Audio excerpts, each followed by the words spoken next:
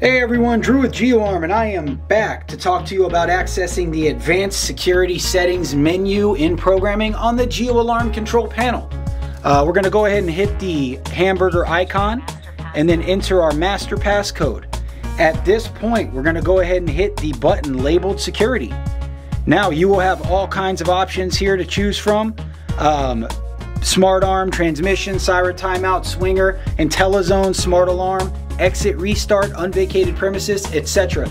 I have done videos on uh, most of these here, um, so you can reference those for any more information on each one of those menus. Um, but that, ladies and gentlemen, is how you access the Advanced Security Settings menu on the GeoAlarm control panel. Any questions or comments, please leave them below. Take care and have a great day.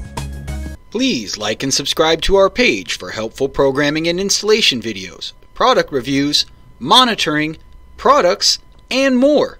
Visit www.geoarm.com or call 877 443 6276. That's www.geoarm.com or 877 443 6276. GeoArm, the worldwide leader in DIY security.